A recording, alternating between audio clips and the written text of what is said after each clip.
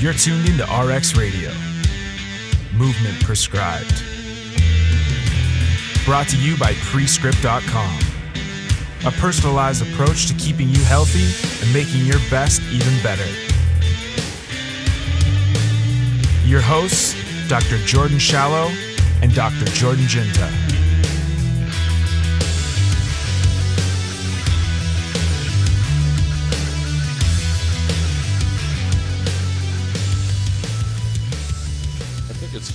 Like over the years, I've been asked a lot, what's your pain at now? Like out of 10, give me it. And I'm like, you know, eight.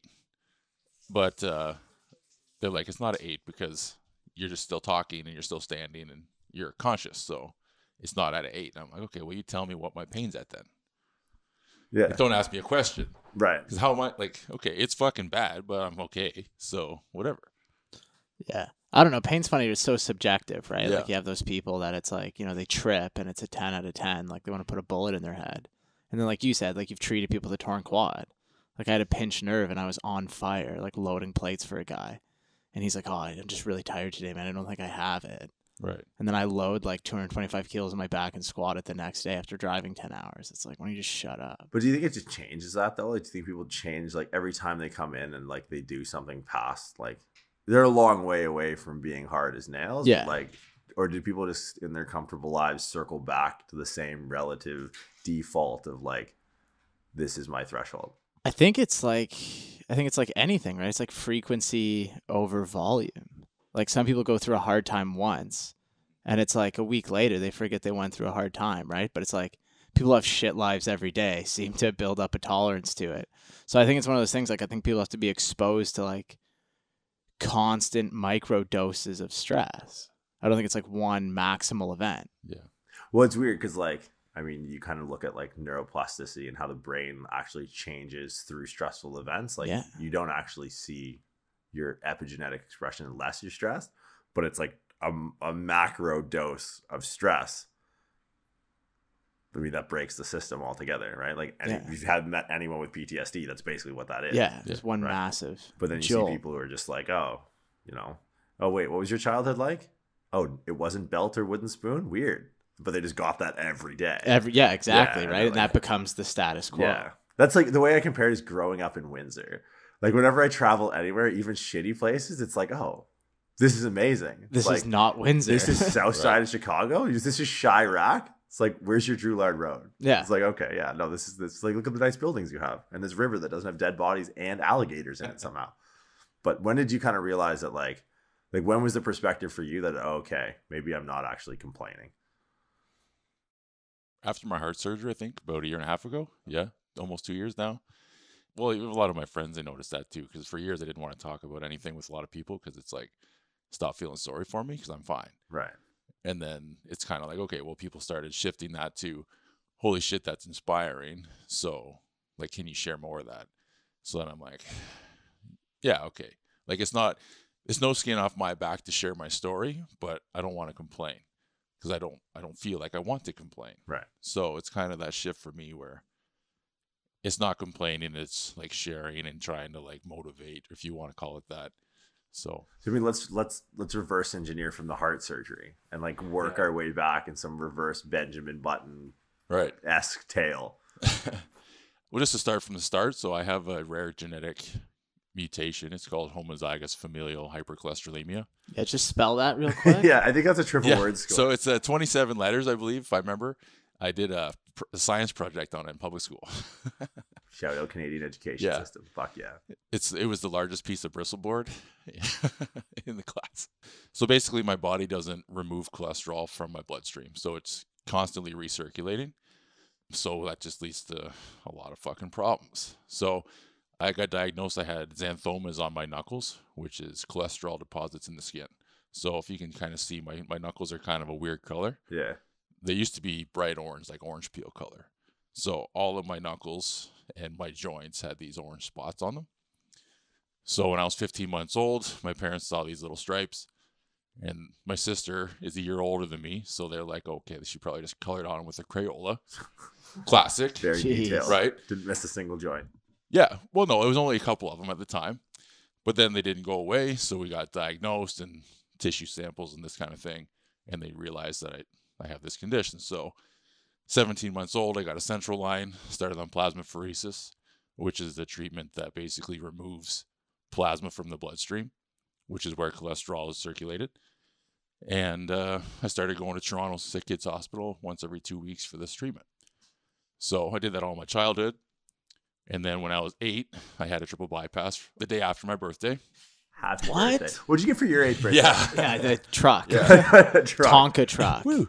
I might have too. I, I had a party in the uh, like the room, you know, in The Sick Kids. hospital. Yeah, yeah, yeah. Funny that. Brought the chainsaw in. yeah. So they threw me a party and shit, but that was my eighth birthday. I was the youngest kid in North America at the time to have a triple bypass. At So the time, is that record been broken? I don't know. I was in 1994, You so gotta look into that. Yeah. if they have, Hey, I Jamie, look them this up. more weight than me. Yeah.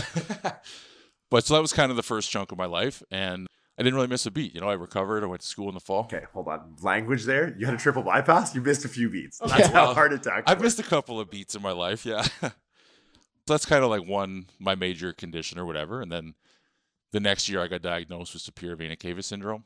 So that's why my face turns purple and I don't have any blood flowing down from my head.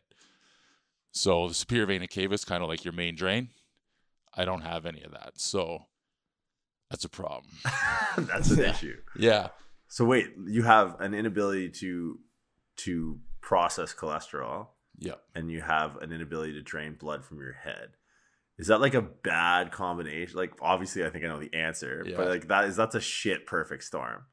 it's not particularly ideal yeah so luckily like i went in for surgery so what they can do so kind of how i describe it if you imagine your superior vena cava is like this tube mine's filled with play-doh right and so they went in to put this straw through the play-doh so i can get blood back flowing right so i went in for the surgery but the blockage was too it was too tall and it was up too high on my neck so this the stent they were going to put in would prevent me from moving my head so obviously they can't put that in there.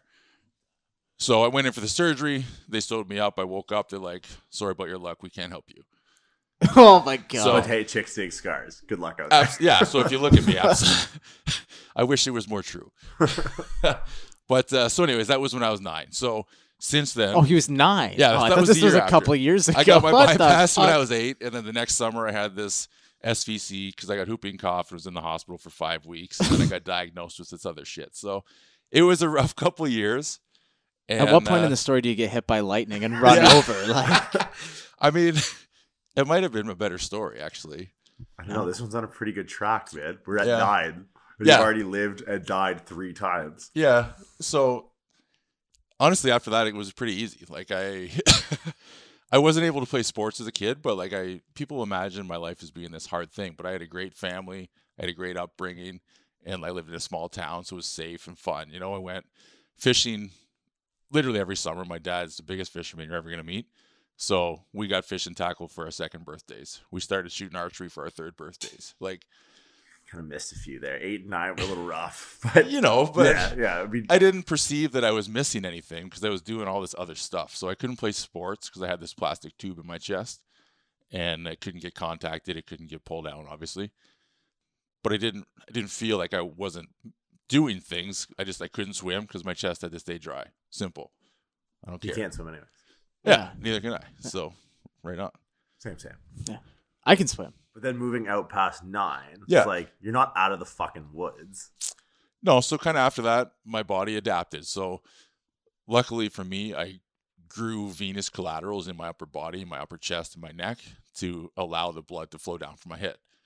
So, because a lot of the times when patients get superior vena cava syndrome, you have brain hemorrhaging and stroke, right? Blood goes up to your head, things go pop, Yeah. and you're fucked.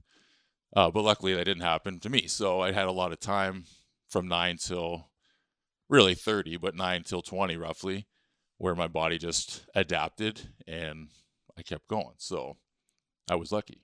I really was. I think that's the perspective shift. And Sure. then, do you have a do you have a pacemaker? No. So if you hear a click right now, I don't know if it's picking up on the mic, but I have two mechanical valves in my heart Oh, that's what it is. and Okay. four bypass grafts. So And is that all from when you were eight? No, so the three from when I was eight, and then f- for my thirty-second birthday. So You going know, back, partridge in a pear tree. Like, Yeah. What the fuck did they bring you now? that was my uh so I had a Bentall procedure, which is basically ascending aorta, aortic root, and aortic valve is all replaced with a synthetic piece. And then my mitral valve was replaced and a fourth bypass graft was put on. So Was that like not elective, but was that something that was like, okay, on Thursday I'm going to go in for this, or like, okay, what? do you- Stop what you're doing right now. We're going in for this. so it should have been the second one. Yeah. It was um I was hospitalized the end of August 2017. I Was told I had about 8 to 12 weeks to live. So I had to go in for heart surgery like immediately. I went for pre-surgery November 21st and then I didn't hear from the hospital for 6 more months. So I went May 25th, 2018. So that was September till May where it's just kind of in limbo like you're going to drop dead. You need heart surgery. So hopefully you make it that long. And that was kind of like a big shift for me in my life for sure. But like, what was your shelf life before that? Like the Uh, the guy with the triple bypass is Pretty good. going to really. Yeah, I I mean, You're As long as- for a century. You could go hundred when you get a triple bypass at eight. I mean, in all likelihood, no, but Right. I didn't have any active problems because I, I go for yearly check-ins with my cardiologist. I get ECGs and echoes, and then I do every couple of years I get a stress test, and every other couple of years I get an angiogram, and they just check in the condition of things. So over my 20s, everything was pretty good. Nothing was imminent. Yep, everything Until was when? stable. That's why I started. Well, I've been lifting weights since I was about 15, but mid 20s I started powerlifting because I thought obviously I want to For, powerlift. for health, right? Yeah, for the yeah, health. because For the culture. fuck Yeah. Because my blood pressure probably isn't high enough. Yeah, I'm I'm gonna hold my breath with 500 pounds on my back. Well, the the plus side is when I go to powerlifting meets, people just assume I'm a guy on a lot of D-bol because my face is purple as fuck. Like if you go, Give me a high five. you've got Lily Bridge We're red, brothers, and then right. you've got Muscle Bill purple. Yeah, you can literally. I think I saw that at Home Hardware. It's a paint swatch. Yeah. I think about doing my next bathroom that yeah, color. beautiful.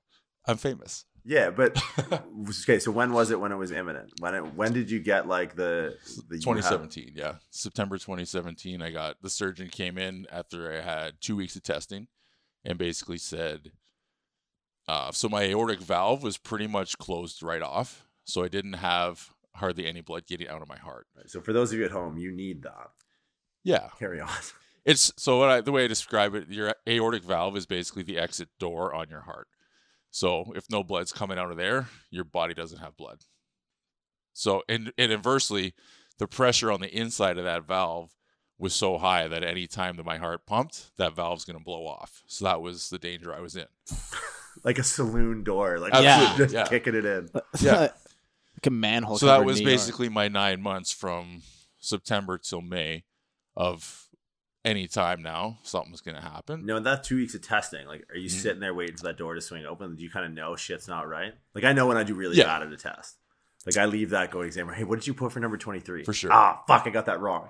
After two weeks of testing in the hospital, you got to be like, okay, the more tests they do, the worse this has got to yeah, be. the con- that conversation's not going to be easy. I mean, I knew it was coming. Like for basically my whole life, I knew I'd need another heart surgery at some point. Right. But we kind of theorized because my heart was stable for so long that it was going to be, you know, five years, seven years, some kind of length of time. We didn't know, right? But everything was good, so we just kept going till the next year. But then things just weren't good. So I, I almost blacked out in the parking lot in August 2017, and that was kind of the big like, holy fuck, I need to go to the hospital because that's not a good thing. Just So- out of the clear blue sky, like just walking through the parking lot one day and then yeah, so I, I went from work to GoodLife in Kingston, got out of my car, and yeah, I, I almost hit the ground. So the world went black. I grabbed my car and I kind of hung on and uh, just kind of told myself, don't pass out. So I was, so then like the door swings open. Two weeks of testing. Surgeon walks in. yep.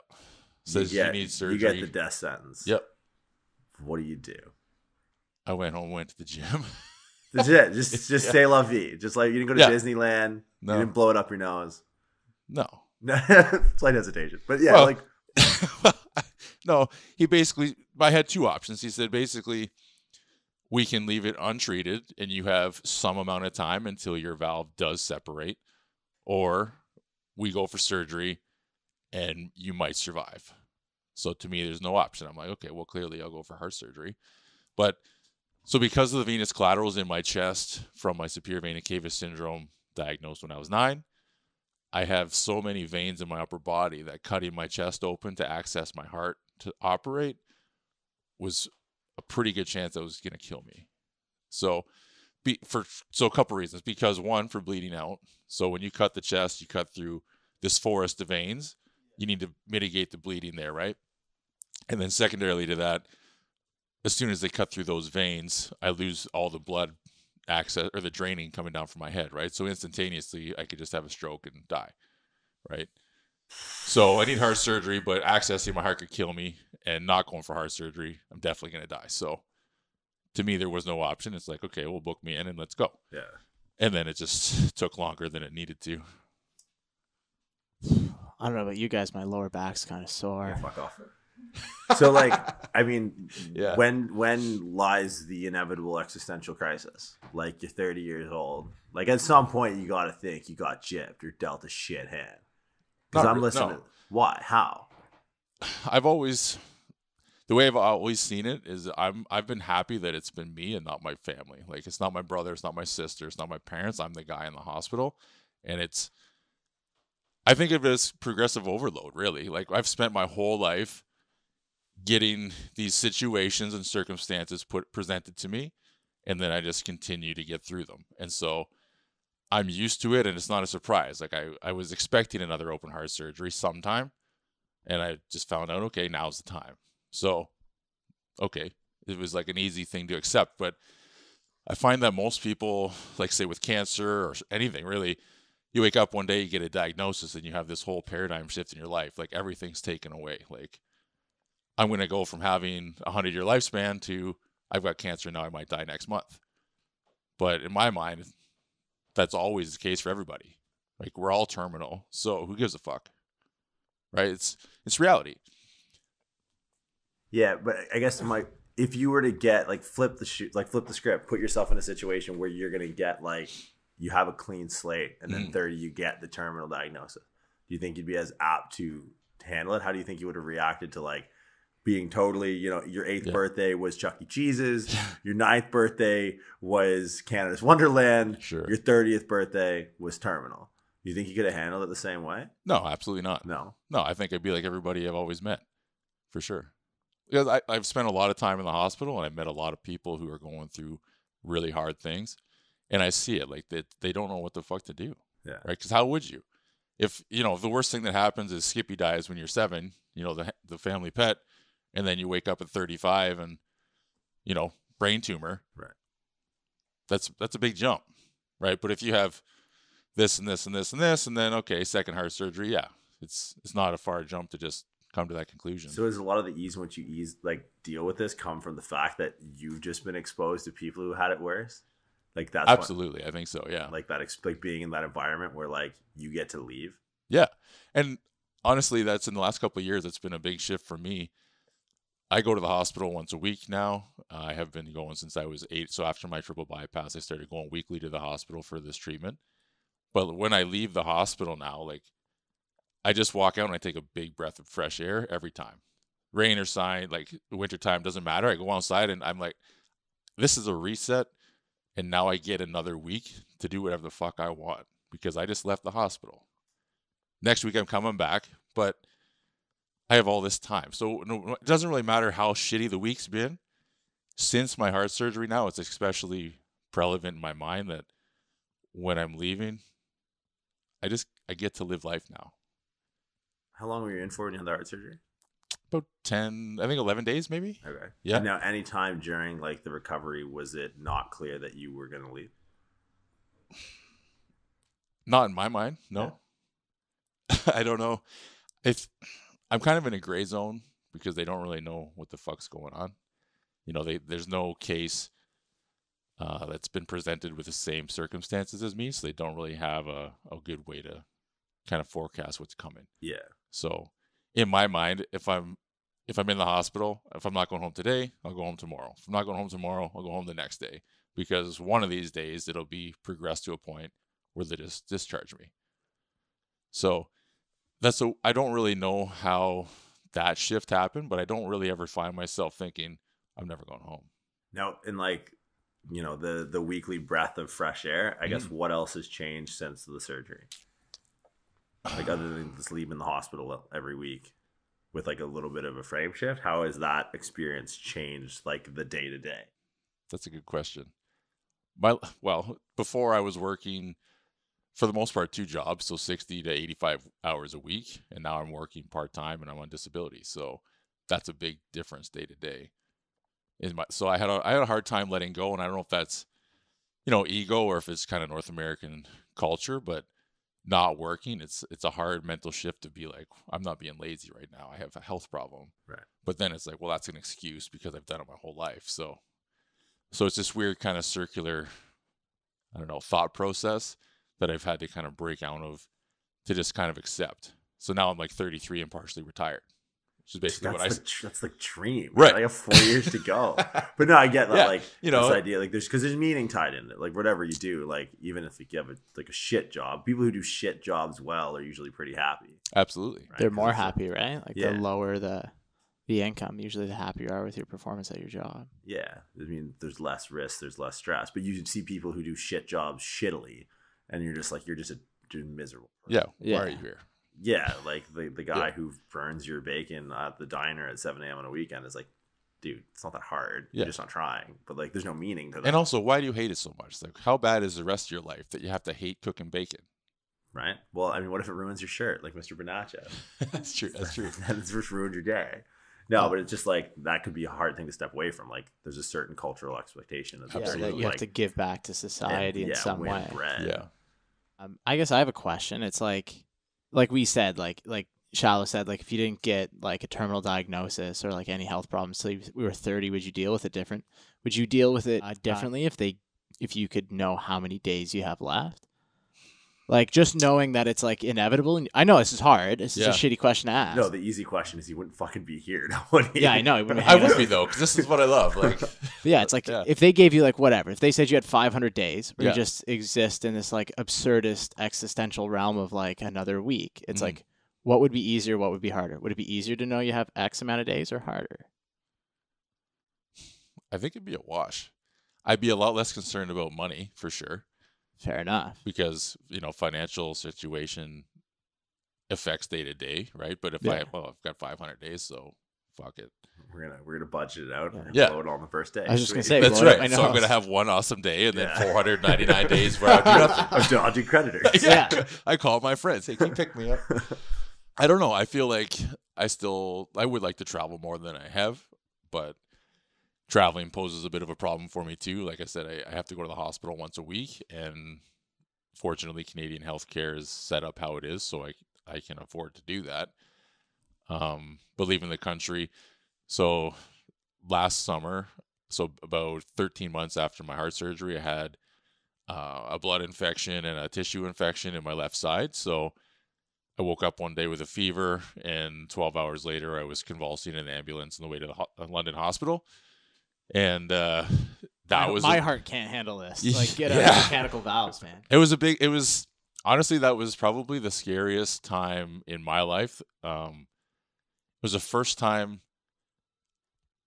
I ever kind of accepted that this is going to be the end because I've I've never thought to myself that I can't continue. I just I have that kind of ingrained in my mind, but I logically realized that my heart can't take this situation for a long amount of time. Yeah. And the drugs that they were giving me in the ambulance didn't make any difference. So I was fully conscious and I was having a conversation with the attendant and I said, You need to get a pen because I need you to write a note to my parents and uh like do that, right? And she's like, No, no, no, calm down. It's okay. This is gonna work out. And I'm like, if this doesn't stop, it's not gonna work out. I know that. And that was the first time I ever had that thought of I'm gonna die, depending on when, right? So that was a really hard thing for me to gather after the fact. Um, I was in the ICU for two weeks, IV antibiotics, on oxygen, the whole thing, and got sent home. And I was like mentally the, in the probably the hardest place I've been. Uh, I would say, yeah, my whole life. So it was a weird shift to get out of that. Like, I don't, I don't really know how to explain that. Was was there a rebound effect? Like, I mean, you read about I mean, it's a different context. But like you read about like the German Blitz in London during the war, Mm. and it's like the guys who would go into the tunnels and end up walking out the other side of it. They all had that, right? Like Mhm. they're pretty well documented in history. Like Absolutely. you obviously think you're going to die if it's raining the hell bombs from the sky. But every time they emerge, like the idea with the German Blitz was it's like would break their spirits, but it actually did the opposite, Mhm. right? Like the more you know, angry, toothless British people were left crawling out of these you know semi-bombed tunnels, the more resilient they became. Did you find like on the other side of that there was like a there was like a hardening after that? Honestly, it was a message from Jay. So Jay, as you know, he's all about Sisyphus, and he's got the Sisyphus systems journaling now and all that. But he messaged me and just reminded me of the Sisyphus story and um, to be grateful for the struggle. And it honestly, it really did change my whole paradigm. Just I don't know if it's. I mean, over this whole time, I was going through a divorce and this this whole other back burner stuff. So meant back burner stuff. all that back burner yeah, stuff. yeah, all that other really stressful. yeah, shit it that had about happen. like a year and a half of relationship breakdown. But uh, That's fine. Yeah, but in any case, so I was mentally it was in a rough spot, and uh, Jay messaged me, and it just uh, it made me realize that I'm really used to pushing a boulder, and I really do enjoy it, and I find a lot of comfort knowing that I've always been able to keep pushing the boulder up the mountain. So it kind of reminded me that it doesn't matter this like how steep the mountain is or what the terrain's like. If you just dig your feet in and keep pushing, change is guaranteed in life, right? So it kind of reminded me of that. And then everything shifted and got easier again. So I suppose to answer your question, yeah, like I did really shift into a better mindset. And it's like, okay, I have this kind of under control again to whatever degree I ever did, which nobody ever does, Right. you know. But Now, now, what's the boulder? I guess like it's weird to have the first chapter of your life closed with a triple bypass and Yeah. that not be the end of the book. yeah, And then as we close Yeah. scene two, we come into another heart surgery, still not the end of the book. Now it's like Muscle Bill's back for encore. Yeah. What's the boulder now? Like, I mean, I'm a big fan, like obviously friends with Jay and the site like the you know, Yeah. you just finished reading the Albert you read Albert Camus, yeah? Uh, yeah, Yeah. a lot of his books. Yeah, and this I I mean, and if you read like I, one of my favorite books is Man's Search for Meaning, and Sure. the idea that like happiness felt f- through fulfillment, and like if you read like the Gita, it's all about having purpose and duty behind that culture, and it's like what's the rock now? Like what's the yeah, I mean, you know, a lot of people find being busy and being productive two of the same or one and the same, but it's like, you know, 60 hours a week. I've been there. Like, for sure. and that's, you know, I wasn't been there with like 17 pieces of mechanical hardware in my Yeah. heart, but like, but you, you feel Yeah. a sense of fulfillment when you just, your head hits the pillow and you get your four hours of sleep a night. Exactly. But yeah. now it's like, you've kind of accepted this transition to this new chapter. What's, what's the boulder? So I'm trying to just share my story more and I hate using the term like inspire people or motivate people, but it really seems to be what people call it. Well, yeah, fuck that. Don't call it call it kicking him in the head. Tell him to shut the fuck up. Yeah. I'd like to open people's eyes to but also I like to be able to start a conversation that is like it doesn't matter what kind of shit you have going on in your life. So whether it's, you know, your heart's fucked or you know, God forbid your family dies or whatever. Like everybody has hard things, but everybody can still push the boulder. So whatever that boulder is, you're not alone. And if you need to talk about it with somebody, talk about it. Like if you don't have someone easily accessible in your day to day that you trust to the point where you can say, look, and I'm having a really hard time. I need some help. Get rid of the fucking people in your life. Because that's that's a terrible feeling. When you sit at home and you feel isolated and alone like so many people do now like 2020 depression is insanely high right suicide's always on the rise why we have access to everybody in the whole world through a fucking cell phone and everybody feels alone but we're not alone so i'm just trying to i don't know if you say promote this sense of community but just a conversation that it's okay to have a hard time with what you're dealing with whatever that is and I don't give a fuck what that is. So I hope you don't give a fuck what mine is. Just you have a problem, I have a problem, we all have problems. So just don't be so mean to the guy that's grumpy cooking your bacon.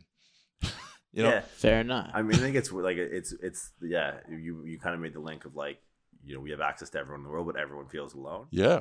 I think there's so much negativity circling around social media and it's Yeah. on mental health, and there's a certain exposure factor. Like you know, first off, like, you know, 50 years ago, keeping up with the Joneses was just looking through your kitchen window. Now, Mhm. keeping up with the Joneses is well, the Joneses are curating their their life experiences on an app in the palm of your hand. And the Joneses aren't just next door; Yeah, they're they're- every next door Yeah. Absolutely. right? But I think there's a flip side of that. Like I've had a lot of people reach out through the podcast, as I'm sure you have with yours. Like, and I, I think there's a there's an ancillary benefit to social media, or like a silver lining to that connectivity that just goes underutilized. Absolutely. Like for every you know you're a Nazi comment on cat videos on YouTube, it's like all right, there's someone in a DM somewhere is helping someone out. Have you come across a lot of that since you started sharing your story? Uh, definitely some. Uh, so I've done four, I think four or five different, uh, I guess you call them talks or presentations, whatever. And after every one, I've had at least a handful of people, if not more, whether they reach out immediately before they leave or they message me afterwards and they'll just say, you know, thank you is essentially, it's amazing how big of an impact that has on my life. Because it's like, I don't like public speaking and I'm nervous as hell and like I don't particularly want to share and all this stuff. And then one person comes up and they look me in the eyes and say, man, thank you so much for doing that. Like it's unbelievable. And it's just like, okay, this is all worthwhile. Here's my boulder. Here I'm pushing it up the mountain. Everything is just, it just seems to go away. And that's kind of, to me, it's re- reassuring that the message is being heard and that it's actually helping somebody. And so, as I said, I, I don't care to share because I don't want sympathy, but it's not being re- perceived as that. I guess it's that's my mental struggle. what's the resounding takeaway? Like, what's the thing you hear the most often? Like, I hear, hey, your beard is bigger than on the internet. Sure. I didn't expect your beard to be so big. Yeah. I- I hope that had an impactful, you know, footprint on your life. Yeah, my shorts are just short. Yeah. That's that's about as deep as I get with people. It's But, like- just like, holy fuck. Like, is that, that's been your life? It's like, yeah. But then I get this whole, it was, must have been so hard. But it's not that hard. It's been great. You know, I don't know. I, I love what I do. I've been lifting weights. I've met a lot of awesome people, you guys included. You know, I'm doing awesome shit. I played in metal bands over the Yeah. years. I had a blast. So I've had a great life and I know a lot of people who haven't. So I just I don't I don't know how to change that perception or how to convey my message more clearly to try and shift that still so people compare it to mine for some reason. But is it action steps? Like when you when you talk, is it is there a call to action, or is it just people kind of like? Is it's almost like because it's almost like an interpretation, right? Like yeah, it's like you very look at it. cathartic in a way. Yeah, well, it's like you look at like a piece, like if you ever go to like an art gallery and like you look at something, and it's like there's a lot of like, there's different interpretations. Like I Mhm. think of it like uh like the, the ink plot, the ink Yeah. plot test. Like Mhm. that's when I look at your life, I look at Right. that, and that's why like the personality test, where like oh the thing looks like a bat. It's like well to some people it might look like their father chasing him with a hammer into a closet. It's like Yeah. hmm, wonder if that has anything to do with your experiences, right? It's like the Rorschach ink, ink blot test or whatever. Right. Now, do you do you try to guide people to a call to action, or do you say, "Hey, here, I'm Bill. Uh, this was my eighth birthday. Blow out the candles. Haha, you can't I can't. because you have a triple bypass." yeah. Uh, so initially, that's kind of what I did. I just I didn't have a real game plan. I just got up and started telling my story, and then took questions and kind of had a conversation that way. And then my last one, I did. I had some takeaway points that I honestly can't remember off the top of my head. I should have written them down here, but I well, yeah, I like to suggest, or going forward, I want to continue suggesting just at least some bullet points of what is it that I was actually trying to convey today so that there's a little bit you can still look at the ink blot and tell me whatever the fuck you think because that's ideally what I would rather but um I think some people are overwhelmed which is something that I, I didn't really consider. When you hear this large amount of information in a 25 minute span you can't really comprehend all the same information at the speed that I'm giving it to you right? So I didn't consider that in my preparation the first couple times so then I'm like, okay, well, I need to break this down and try to simplify at least at the end. So it's like one, two, three. I can I can count. Bill's gonna send pre-course material. Pre-course It's gonna material. be a medical textbook. Yeah. You're like, Yeah. all right, here's everything you know you need to know about the tricuspid vibe valve Yeah. in the heart. Read Yeah. chapters 13 through 72, and we'll reconvene next week for a half Yeah. hour talk. Shake Yeah. my hand. See you later. Here's all the Let's lift weights. consonants in the alphabet.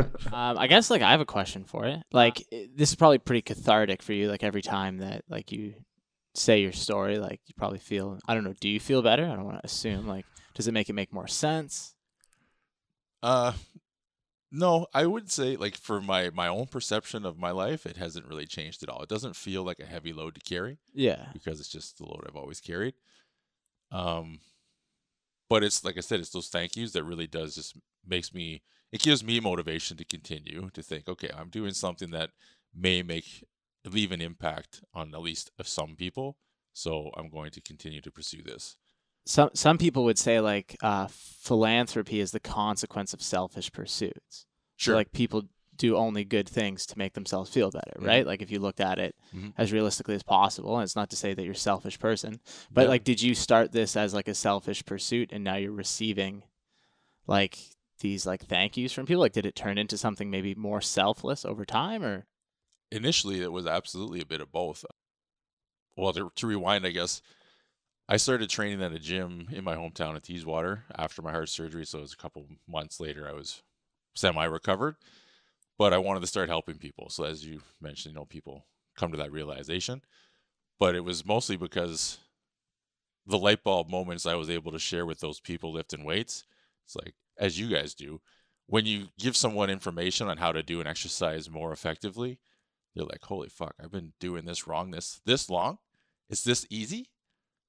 And but to share that moment with so many people, that's fulfilling to me. So I was like, I need to find fulfillment for myself because I don't have anything. Like Okay. I don't have Yeah. a daily sense of joy or Fair enough. fulfillment. So those are things I want. So I did. I started off to pursue that. Think, okay, if I can get these thank yous after my talks, that makes me feel good yeah. And therefore I feel better and I can You're more continue. motivated to continue. So Yeah, I think that's an important point, right? Like I think we look at people like not just like Bill, but like other people who do things that seem enormously selfless, but we ignore the fact that most things we do are for a selfish reason, right? Mhm. Like people give to charity because it feels good. You wouldn't give to charity if you had no feeling about it. You probably just walk by. Yeah, but I think Sure. at the end of the day, if the end result's the same and you're helping people, it Oh, doesn't matter. No, But no, it's like- a hundred percent. I think Yeah. the perspective for me is like, oh, you know, we can talk about, yeah, hey, you've been doing a hamstring curl. Then there was some bystander in the course this weekend who's like, I've been working out wrong my whole life. Yeah, And then it's like, well, imagine that. Like, yeah, that's cool. Like, it's like what we kind of dig on. But imagine not going, hey, uh, you like you've been doing this hamstring curl wrong. Like, hey, you've been living your life wrong, like the entire. Oh yeah, it's totally You've been different. doing this. You've been uh, going about this all the wrong way. right. I think that has a little bit more profound of an, impact, and that's one thing that we try and reiterate. It's like, look, at the end of the day, like it's reps and sets here. Like, Yeah, there's people like you that are actually, you know, because that's impactful. Like you were telling me about how old was that lady at the at the talk? I think she's 73, 74. Yeah. So she's she's got some miles. Yeah, she's lived definitely lived a life and she's from my hometown as well, so I know a little bit about it, but she approached me after my my talk in Teeswater and she said that was like a religious experience for me. So thank you for sharing. And she had tears in her eyes. And to me that was a huge eye opener that like I didn't realize that I would ever have that kind of effect on someone. Yeah, no, like Yeah, I don't have that dude, effect I, on I, I, anyone. made, I made a guy like you know I, I fixed a deadlift, uh, instant PR, no tears. Yeah. and guess what? His Yeah. deadlift wasn't that strong to begin with because Yeah. he hasn't been doing it for seventy three years. Sure. So it's like it's, you know magnitude of like the impact, right? Mhm. What's your biggest? I mean, I struggle with this. I'm better than I used to be. Like even stuff like this. Like I used to be kind of like jittery and stuttery, even more so than I am. But like, I was given a piece of advice very early in my career, and it was to get out of your own way. Yeah. Now it's like I find in my experience the people worth listening to are the people that don't want to talk. It's like if I'm in a room and there's a guy sitting there, not saying shit, listening to whatever he's listening to. like naming that's the guy I want to sit next to because he's got something to say. Sure. He's just too humble and pride, proud to say it, Right. right? With you and like with what you do, what's what's been the best tool to get out of your own way? Honestly, people like you. You're- Okay, it has to be a better answer than that. So I- that, you're you're not you're not you haven't given me a wrong answer yet. But like no, honestly, like what's Yeah. Like who like not me, but like who would be an example of that? Well, I guess my dad, Yeah, classic example, but he's been my hero my whole life. I've he drove me to the hospital every time I needed to go because my mom doesn't drive in the city, and so I spent a lot of time with my dad as a kid, and even to this day, like he had cancer seven eight years ago. You so, know, that's, so that's mid divorce. like when is Yeah. that, when does that layer in to Uh, this fucking I would no, I was around 25, so it was it was a few years ago now. But uh, even at that time, he's in the hospital. He's walking around the unit. They said, you know, you're not bedridden, so he walked around, and they're on the drugs that they're on or whatever, so he wasn't sleeping and stuff. But he's walking around the unit. He's like, he was the only guy on the whole fucking unit who wasn't just laying in bed, like I'm gonna die. Dad's like, oh, I got a 15% chance to live. All right, I'm gonna walk around. So that's like the mindset I've just been ingrained. That's been ingrained my whole life, and even to this day, like he's he works a full time job. He's doing salmon aquariums in public schools all across this side of the province. It's like it's a it's a program with the MNR and Bruce Power. Like he's go go go. He's also up for nomination, probably the most Canadian job, Job of all ever. time. Yeah. That's amazing. Installing No salmon in openings in the plaid factory, but hey, hey, hey, uh, hey, Mr. Muscle Bill, do you think you can install salmon aquariums in public schools? Yeah, no, he's he does it for the class projects, and the kids do like science projects on it. Yeah, That's incredible. yeah. Does he still get nervous? Me? Yeah, like when you go up and talk. Do you still Oh get yeah, nervous? I'm jittery. Absolutely. I, I wouldn't even notice you were jittery, but I I feel like I stutter and my heart's pumping like crazy. Has it gotten easier? Yeah, it's been easier than the first time for sure, but the first five ish minutes is always a little bit. I find myself going um, and then I kick my own ass. I'm like, stop saying that fucking um word. Like you know what you're gonna say, so just continue on. But honestly, my heart being audible now is sort of a conscious thing that like, holy shit, my heart's pumping. This whole room can hear my heart pumping. So they know that my heart's racing, but they can't. But in my mind, it's a distraction for me too. You know what you should do to fuck yourself is put the lapel mic right over the left side I, of the chest. I did that. It's like the beginning of Renegade by Styx. It's Yeah. just like the the the, the heartbeat. The the clip I sent to you, that's where the mic was, was right Yeah. here. And when I listened afterwards, I'm like, fuck. Dude, dude. now moving forward, what's the game plan? So I'm working on that. I've had a hard time, as I've realized in the last couple of years, long term goal setting. Because as I realized, I kind of worry about current state of affairs as opposed As- to as one would, term. yeah. And so I, I think I talked to you when you were down for the podcast about Yeah. I'm very good at reverse engineering from a big thing into smaller things and action items and all that. I have a hard time imagining a big thing. So where can I go? What can I do? What's a good or semi realistic or whatever kind of goal you want to set? I don't know. I just I want to talk in front of more people. I want to share my story with more people. And I'd like to ultimately just try to help as many people as possible. So as people talk about impact and whatever kind of words are fucking buzzwords right now, I don't know, but I live in a town of a thousand people, so my exposure to the I don't know current affairs isn't exactly up to date. Yeah, So one you more can check, talk. check Bill out on MySpace. Yeah. Say Yeah. X Muscle Yeah. Bill X. I used to download on LimeWire, but so yeah, I, I would like to just go further, do more, get in front of more people, practice speaking as much as possible, and I don't know now you still live in Teeswater? currently. Yeah, yep. Could you? Would you leave? Yeah, so uh, that's something else I've been thinking about too. As I said, my healthcare has always been centered around London, uh, Ontario. So I'm kind of limited in that radius or within radius of a hospital that can treat me. So again, it's been a limitation that's been kind of it's like living my life in a bowl of southwestern Ontario. So I haven't really imagined trying to project out of that. So would I move? Absolutely. It would it be complicated potentially, but uh, I haven't really thought that far ahead. I don't know where I would go. You know, Now, how much of like, I mean, because that's an interesting part of Ontario. Like, I've lived in Ontario almost my whole life, and it's like Teeswater. You had to give me a few points of reference. But like, okay, I know like the ballpark general area I would have to drive to hopefully get lost and run into Teeswater. Yeah. absolutely. But like, you know, me and me and him here, like we're both from Windsor. And albeit like a shitty town with a ton of disadvantages, like I think we're both pretty grateful we grew up there. Like Hundred I, percent. I could identify pretty much every illegal street drug Yep. just by looking at it. Sure. Like I don't need to test it. I can tell when a guy's strung out on something. I can tell you what it is. I can tell you when he probably took it. And it's like that finds you pretty well in certain situations. Like how much has grown growing up in a town like Teeswater kind of helped in your approach to all this? I think it was paramount, honestly. Every time I would get released from hospital, I go home. Teeswater's small, it's quiet, it's safe. There isn't I don't know about now, but there's not really drug use. It's not a dangerous place. You can walk around day and night, twenty four seven. Yeah, you know. But coming home, it was always a safe place, and I think that's why I was able to recover and really kind of reset myself and just think like, yeah, okay, I'm back out, I'm back this, I'm going to school again, and life is good. But if I was in the like uh in the ghetto in Windsor, maybe, you know, Hey, shout, out, Windsor. Yeah, That's right. I don't know that I would have had the same sense of safety at home, but I had a lot of chaos, obviously, in my childhood and over my life in the medical sense. But my, we'll call it personal life, has always been great, you know. So I've had great friends. If, like I said, my family has always supported me in everything I've always done. So I don't know that would have been the same in the city. A shift work is always different. I find like double income households. Sometimes the parents aren't home and all that kind of stuff. But I've always been really fortunate. So So, I mean, when you're in the hospital, in there for weeks on end, and you don't have the ability to escape to that safe place, Mhm. where do you go? usually I flirt with the nurses. Hey, here we go. Whatever helps, man.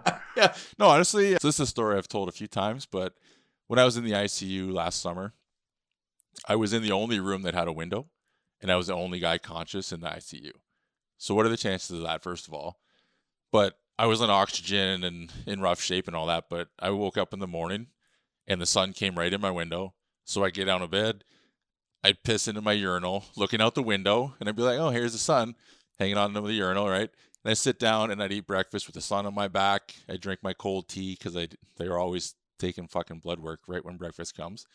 But anyways, and I just I just sat there and I just I remember feeling so grateful that I could experience the sunshine. And I'm just I'm in this ICU. The guy literally the guy across the hall from me was flatlined 10, 20 times a day.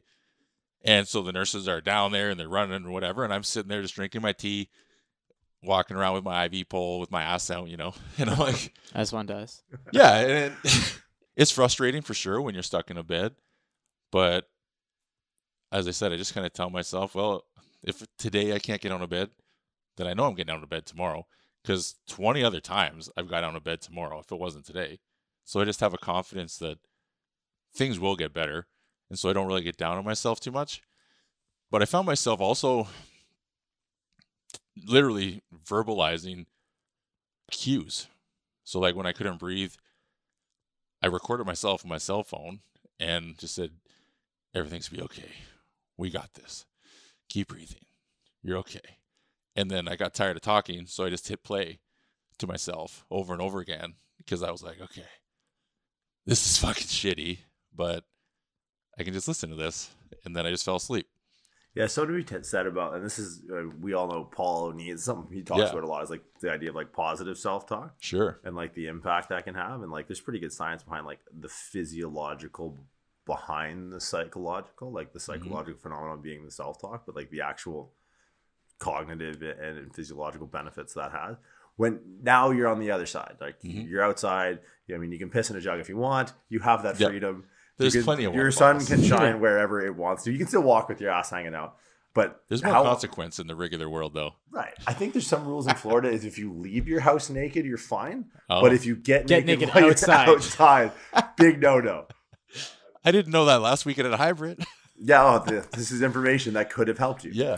But do you find yourself now looking back and drawing on the shitty times to give you perspective? Absolutely. Yeah. Because a lot of times I find I have trouble with uh, energy or motivation to do things now because I don't know. I, I haven't really figured out if it's some sort of slight of depression or if it's just physiological things happening. But then I remember what was I trying to tell myself at some of those hard times? And what was I looking forward to? So why am I not doing that now? Because there's nothing stopping me. You know, I'm I don't want to say I think of myself as an unstoppable force because obviously I know that that's not the case, but there's nothing in my way. You know, my health kind of is arguably, but at the same time, it's not. I'm on antibiotics. I go to London once a week. These are facts of life to keep me alive. So they're not really problems. They're just my life. So how can I factor in the things that I want to do and just arrange it around the things that I have to do? Now, like for most people listening, like they're listening on an iPhone. I know this because I can track our metrics. Is there an existential takeaway that you can actually give to someone who has the luxury to be conscious, not in an ICU, with an iPhone? Is there anything you can even say, or do you just let them interpret it themselves? I wish it was better with words. I so this is where I admire Killian and, and yourself even, but the philosophical side of things, I don't read books.